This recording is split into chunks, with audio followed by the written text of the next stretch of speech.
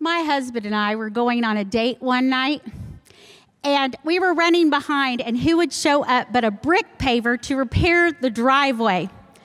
Well, I went on in to get my shower and left my husband there, hoping he'd come on soon behind.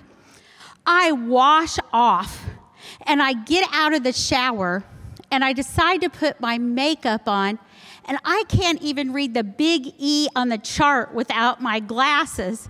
And you can't put makeup on without glasses, with your glasses. And so I fumbled around trying to find my clothes because I realized I didn't have anything to wear. And I only had a bra in the bathroom, so I put it on. And then I realized I was going to have to go all the way to the laundry room for my underwear. So I step out of the bedroom into the family room on my way there, and there stands my husband doing nothing. He's not getting ready. And I said, What are you doing back in here? And he said, Nothing. He just stood there. And I had a two minute dissertation with him saying, Come on, the babysitter's going to be here any minute. You've got to get ready. Oh, I was so annoyed. He said or did nothing.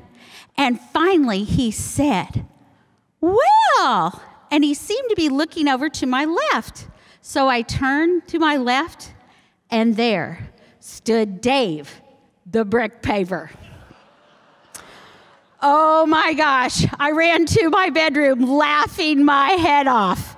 And my 12 year old daughter said, Mom, that man just saw you naked and you're laughing. I said, Listen, honey, it is too late now to cry.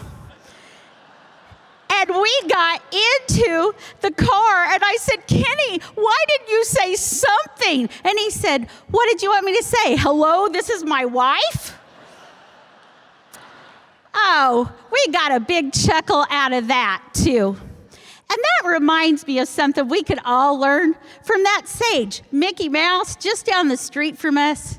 He says, if you can learn to laugh at yourself, you can learn to love yourself. Thank you.